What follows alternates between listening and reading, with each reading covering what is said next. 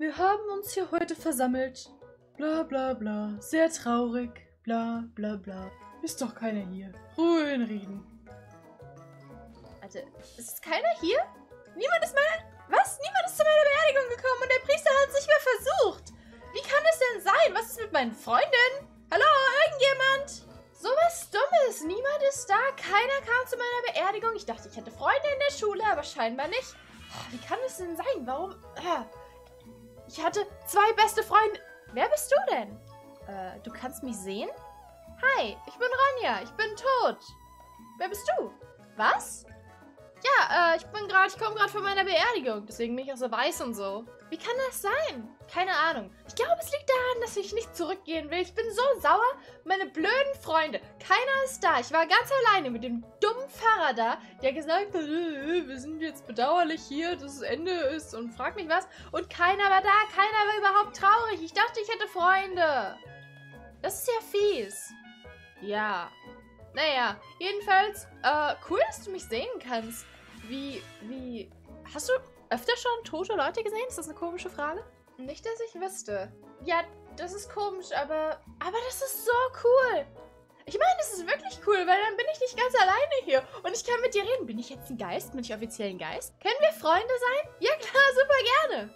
Okay, Freundin, dann äh, gehe ich mal nach Hause. Ich wohne tatsächlich eigentlich direkt gegenüber. Dann können wir uns vielleicht morgen treffen oder so. Okay, bis morgen. Mach's gut. Mega cool. Ich habe eine neue Freundin. Eine, die tatsächlich auch mit mir redet, obwohl ich tot bin. Zum Glück ist mein Haus noch da. Hä? Das sind fremde Leute beim Haus. Was machen die hier? Okay, mal gucken, was meine neue Freundin so macht. Hallo. Oh, ich hoffe, sie ist zu Hause. Aber eigentlich ist es noch recht früh. Ich wüsste nicht, wo sie rausgegangen sein sollte. Oh, ich bin so froh, dass mich irgendjemand hier sehen kann. Und das, vielleicht kann mich jeder sehen. Ich komme ja schon. Hi. Oh, äh, ich glaube, du bist gar nicht mit dem ich gestern geredet habe. Bist du die Schwester? Äh, ich habe mich gestern mit deiner Schwester angefreundet. Hallo? Hi, äh, ich bin direkt hier. Ich bin Ronja. Ich weiß nicht, ob sie von mir erzählt hat. Ich bin der Geist. Das Geistmädchen. Wer ist da? Oh, du kannst mich nicht sehen? Warte mal, ist deine Schwester zu Hause? Hm, komisch. Oh Mann, okay, dann ist scheinbar ihre Schwester die einzige, die mich sehen kann. Falls sie Schwester sind, aber sehen sich sehr ähnlich. Also, oh Mann, die denkt bestimmt, hier hätte nur jemand einen Klingelstreich gemacht oder sowas. Ich versuch's nochmal. Vielleicht kommt ja diesmal die Schwester zur Tür. Hallo? Oh nein, das ist schon wieder die falsche. Uh, ich fasse sie mal an oder sowas. Vielleicht kann sie das spüren. Hi? Oh, was soll das denn? Oh, Mann. Ich glaube, ich gehe jetzt einfach rein. Ugh, wie klar. Okay, okay, okay. Sie kann mich eh nicht sehen. Das heißt, es stört sie wahrscheinlich auch nicht, wenn ich im Haus bin. Und ihre Schwester ist oder nicht zu Hause. Oh, hi. Oh, Entschuldigung, du schläfst noch? Ronja? Tut mir leid, dass ich einfach so reingekommen bin, aber ich wollte klingeln und deine Schwester dachte, ich mache einen Klingelstreich und hat mich nicht gesehen. Ich glaube, du bist die Einzige, die mich sehen kann. Oh, sie kann dich nicht sehen? Nee, scheinbar nicht. Wie hast du eigentlich mitbekommen, dass ich draußen war? Liz, mit wem redest du? Na, mit Ronja. Kannst du sie nicht sehen? Äh, bist du verrückt geworden? Nein, sie ist ein Geist. Tut mir leid, Ronja. Ah, ist schon okay. Ich bin froh, dass immerhin du mich sehen kannst. Ich wünschte, es gäbe irgendwie einen Weg von den Toten zurückzukommen, damit ich wieder ein normales Leben leben kann. Du bist ja komisch. Deine Schwester denkt jetzt bestimmt, irgendwas stimmt nicht mit dir oder du hast einfach nur, keine Ahnung, komische Träume gehabt oder schlafwandelst. Naja, ist ja egal. Zu deiner Frage von vorhin. Ich hatte helle Lichter gesehen. Aus der Kirche? Bei der Kirche, ja. Ha, komisch. Ich habe keine Lichter gesehen. Und dann warst du auf einmal da. Okay, vielleicht hat das irgendwas damit zu tun, wie ich hier als Geist noch auf der Erde geblieben bin. Keine Ahnung. Ist alles ein großes Rätsel. Ich kenne mich auch nicht so gut aus mit, keine Ahnung, Geisterkunde. Das ist ja wie in einem Film. Irgendwie schon. Irgendwie auch echt cool, dass ich immer noch am Leben bin. Beziehungsweise so halb. Kann ich sonst irgendwer sehen? Ich glaube nicht. Ich kann es mal ausprobieren, aber ich weiß es nicht. Sag mal, ja? Denkst du, wir können dich zurückverwandeln? Ich glaube schon. Ich habe irgendwie das Gefühl, ich bin ja nicht wirklich tot tot. Ich bin ja quasi mit einem Fuß noch auf der Erde. Das wäre so cool.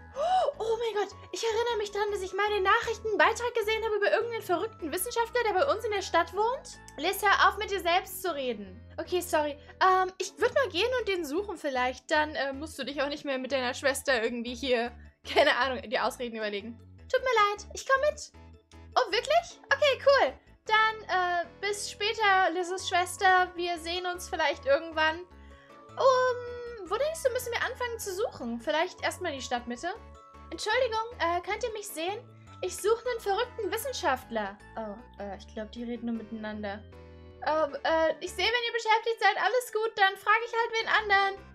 Äh, ist vielleicht bei der Bank nie das heute leer? Warum kann mich denn keiner sehen? Das ist überhaupt keine gute Erfahrung. Ich hoffe, Liz hatte mehr Glück. Liz, hast du was gefunden? Ronja, ich habe den Hinweis. Oh, wirklich? Die Frau in der Bibliothek. Warte, kennt sie den Wissenschaftler? Weiß sie, wovon wir reden? Die sagt, in der 17 ist einer. Oh mein Gott, wirklich? Das ist gar nicht weit weg von euch, oder? Dann lass uns da hingehen sofort. Aber der ist wirklich verrückt. Ah, was soll schon passieren? Ich bin ja schon tot. Ich kann auch alleine hingehen. Dann musst du dich keinem Risiko aussetzen. Ah, sieht komisch aus, aber das unten scheint es zu sein. Wow, wie gruselig. Oh, ich glaube, das ist auch der Wissenschaftler. Hi, ähm, Sir? Ronja, mein Name. Ich bräuchte Ihre Hilfe. Können Sie mich sehen? Was willst du? Oh, äh, okay, perfekt, du kannst mich hören. Ähm, ich bin ein Geist. Also, ich bin bei einer Beerdigung gewesen und dann kam ich raus und Liz hier kann mich sehen und ansonsten niemand, scheinbar sie noch. Hallo Mädchen, ich rede mit dir. Oh, okay. Dann wohl nicht. Okay, Liz, kannst du das übernehmen? Klar. Hallo, ähm, meine Freundin ist ein Geist. Ein Geist? Ja, ich bin Geist. Ich bin direkt hier. Äh, buhu. Jupp, Sie können sie nicht sehen, aber sie ist ein Geist. Zeit für meine Geisterbrille. Oh, oh mein Gott, der hat eine Geisterbrille. Oh mein Gott, wie praktisch. Oh mein Gott, äh, der sieht, äh, komisch aus. Hallo, Sir, können Sie mich jetzt sehen? Ich bin,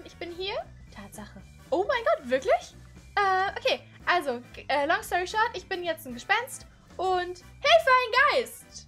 Nein, ich bin nicht gefährlich. Warum soll ich denn sonst hierher kommen und sagen, dass ich hier bin und meine Freundin bringen, die ihnen sagt, dass ich ein Geist bin? Stimmt. So, jetzt wo wir das geklärt haben, ich würde gerne in ein Mensch wieder zurückverwandelt werden, damit ich mein normales Leben weiterführen kann. Können Sie mir da helfen? Hm, naja, ich könnte schon. Aber, aber was brauchen Sie? Hm, ich, aber ich arbeite gerade an einem anderen Projekt. Okay, was denn? Also habe ich keine Zeit. Es ist wirklich dringend. Ich kann mit niemandem hier reden. Ich weiß nicht, wie lange ich noch auf der Erde habe hier als Geist, bevor ich mich zurückverwandle. Oder was passiert, wenn ich mich nicht zurückverwandle? Bleibe ich dann für immer tot? Kann ich irgendwann mit niemandem mehr reden? Dringend. Mein Projekt ist dringender. Was, was ist denn dieses Projekt, was Sie äh, gerade bearbeiten? Das Wasser der Stadt. Äh, okay. Ich glaube, das Wasser der Stadt funktioniert ganz gut im Moment. Es muss zur Erdbeermarmelade werden. Ha? Zur Erdbeermarmelade? Was bringt Ihnen denn das? Dringend. Ha? Ka äh, wenn Sie Lust auf Erdbeermarmelade haben, dann bringe ich Ihnen gerne ein Glas aus dem Supermarkt mit. So ist es ja gar nicht. Ich brauche das Rezept. Das Rezept für Erdbeermarmelade. Können Sie da nicht einfach irgendeins... Das Rezept! Aber gibt es im Internet kein Rezept für Erdbeermarmelade? Muss es das spezifische Rezept sein? Wo gibt es das Rezept? Wie können wir... Okay, wie können wir helfen? Wie, was müssen wir machen, damit ich hier zurückverwandelt werde? Nein, die Stadt hat es versteckt! Okay, okay. Scheint hier eine äh, brisante Angelegenheit zu sein mit der Erdbeermarmelade. Und äh, wo? Wo hat die Stadt versteckt? Du musst es finden. Was für ein weirder Typ. Die, die Lady in der Bücherei hatte recht, 100 pro. Die ist verrückt. Tresor. Also einfach im Banktresor? Das ist jetzt nicht so schwer zu finden. Der Tresor. Okay, äh, wissen Sie was, verrückter Wissenschaftlermann? Ich gehe zum Banktresor. Ich hole Ihnen das Rezept für Erdbeermarmelade. Sie lassen mich nicht rein. Ähm, ich verstehe gar nicht, warum. Dringend. Okay, ich hole das Rezept für Erdbeermarmelade. Ich bringe das wieder hierher. Und dann können wir mich zurückverwandeln? Ja, aber zuerst die Marmelade. Okay, gut, dann, äh, Liz, lass uns, lass uns das Rezept holen gehen. Der war ja gruselig. Ja, nichts wie raus hier, ha? Okay, ich habe hier das Rezept und... Ronja, ich will da nicht nochmal runter. Okay, kein Problem. Äh, warte einfach hier oben. Ich gehe runter, sollte ja noch seine Geisterbrillen oder sowas aufhaben und dann äh, komme ich, wenn alles gut läuft, hier wieder als normaler Mensch raus. Danke. Bis gleich. Okay, ab in die Höhle des Löwen. Hallo, Herr ähm, Wissenschaftler. Ich habe hier das Rezept für die Erdbeermarmelade. Hilfe, ein Geist! Schon wieder? Immer noch. Ich bin der gleiche Geist. Ich habe das Rezept für die Erdbeermarmelade. Oh, hallo. Äh, hier wäre einmal Ihr Rezept. Erdbeermarmelade? Ja, das wollten sie doch, oder? Erdbeermarmelade. Oh. Wie jetzt? Oh. Ich habe jetzt extra die Bank ausgeraubt, habe das blöde Rezept hier gestohlen und jetzt kommen sie mir hier mit Oh. Nein, ich möchte gerne zurückverwandelt werden. Ich, ich meinte Himbeermarmelade.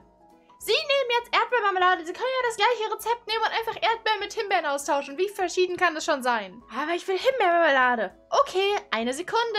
Liz, Liz, hast du einen Stift dabei? Ja klar, wieso? Kannst du hier drinnen kurz einmal Erdbeer durchstreichen und Himbeer draufschreiben? Und dann quasi das Rezept für Himbeermarmelade machen? Äh, okay. Ach, danke, du bist die Beste. Hier bitte, alles geändert. Oh, hä, das sieht sogar täuschend echt aus. Okay, perfekt. Das wird er niemals merken. Dankeschön, Liz. Dann äh, bis gleich. Wünsch mir Glück. Äh, Treppe runter war hier. Hallo, Herr Wissenschaftler. Ich bin nochmal ein Geist. Wie oft denn noch? Ich bin immer noch die gleiche. Ich habe Ihr blödes Rezept hier. Oh, Himbeermarmelade. Ja, das ist, was Sie wollten, richtig? Himbeermarmelade. Wie lecker. Okay, ähm, hier, bitteschön. Was machen Sie denn mit dem Rezept? Ich habe das geklaut weil sie das haben wollten. Geklaut? Das ist illegal! Oh mein Gott, wollen Sie das jetzt Rezept oder wollen Sie es nicht? Ich möchte wieder ein Mensch werden. Wir haben nicht den ganzen Tag Zeit. Verwandeln Sie mich jetzt bitte zurück. Ich will nichts Geklautes. Okay, ich habe es selber kreiert. Ich habe es von meiner Ur-Ur-Urgroßmutter geerbt. Lecker, damit kann ich Muffins backen. Ich dachte, sie wollten die Wasserleitung in der Stadt in Marmelade verwandeln, aber meinetwegen backen sie Muffins. Mir völlig egal. Ich möchte zurückverwandelt werden. Bitte. Was reden Sie denn? Sind Sie verrückt geworden? Ich werde gleich verrückt, je länger ich hier noch bleibe. Bitte, bitte, bitte, ich möchte nur zurückverwandelt werden. Das ist alles, was ich möchte. Ich bin ein Geist, keine Ahnung, wie lange ich hier noch reden kann. Naja, ich kann Sie zurückverwandeln. Oh mein Gott. Dankeschön. Halleluja. Warum sagen Sie das denn nicht gleich? Okay. Ganz ruhig bleiben, ganz ruhig bleiben. Ähm, ja, mein Fehler. Gut, äh, sollen wir dann anfangen? Einmal mitkommen, bitte. Gerne. Äh, hier hinten beim, äh, beim Tisch, beim Sofa? Wo soll ich mich hinstellen? So, und los geht's. Oh, ah, okay. Ich fühle mich komisch. Irgendwas, irgendwas fühlt sich richtig komisch an. Oh, oh, ich glaube, es funktioniert. Meine Hände? Ich fühle mich normaler. Oh mein Gott, ich glaube, ich bin wieder ein Mensch. Dankeschön. Dankeschön, Herr Wissenschaftler. Wer sind Sie? Was machen Sie hier? Äh, ich bin das Mädchen, zu dem der Geist gehört hat. Und wieso habe ich eine Sonnenbrille auf? Wissen Sie was, Herr Wissenschaftler? Das sind Fragen, mit denen können Sie sich gerne weiter beschäftigen. Ich muss gehen komisch. Sehr, sehr komisch. Danke auf jeden Fall für Ihre Hilfe. Es hat geklappt. Ich bin wieder normal. Oh mein Gott, Ronja. Richtig cool. Oder jetzt kommen wir zu deiner Schwester nach Hause und dir zeigen, dass ich nicht äh, wirklich ein Geist war. Beziehungsweise, dass du nicht spinnst. Lass uns schnell losgehen. Oh, wie heißt eigentlich deine Schwester? Veronika. Oh, schöner Name. Ähm, hallo. Veronika, ich habe nicht gelogen. Schau.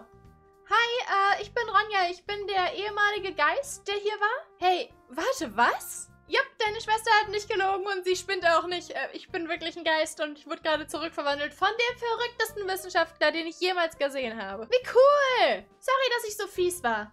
Oh, kein Ding, du konntest mich ja nicht sehen. Ist ja nicht deine Schuld. Hey, habt ihr Lust, gleich zu dritt was zu machen? Ja, wie wär's mit Himbeermarmelade? Ähm, vielleicht finden wir noch was anderes. Ich habe irgendwie gerade keine Lust mehr auf Himbeermarmelade. So, das war's mit dieser Folge Roblox. Ich komme zurück von den Toten. Wenn es euch gefallen hat, dann lasst gerne einen Daumen hoch da. Und wenn ihr es noch nicht gemacht habt, dann abonniert gerne den Kanal. Dann verpasst ihr nämlich keine neuen Videos. Und wir sehen uns im nächsten. Macht's gut. Tschüss.